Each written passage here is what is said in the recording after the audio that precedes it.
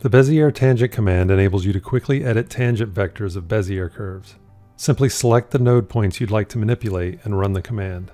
Choose between sharp, smooth, or uniform for the operation, and whether you want to edit incoming, outgoing, or both tangent vectors. Then click OK to move the tangent point positions.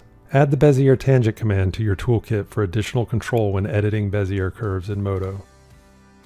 When working with curve booleans, the operations occur on a 2D plane defined by the axis attribute. Assigning a mesh item as a constraint target mesh in either the mesh op stack or schematic will constrain the resulting curves to the target mesh. You can use the offset from target attribute to move the constraint vertex positions along the normal vector of the target mesh for additional control.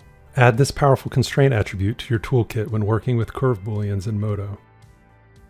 To enhance the creation and editing of curves when using the Bezier Curve tool in Modo, take advantage of the tangent handle options.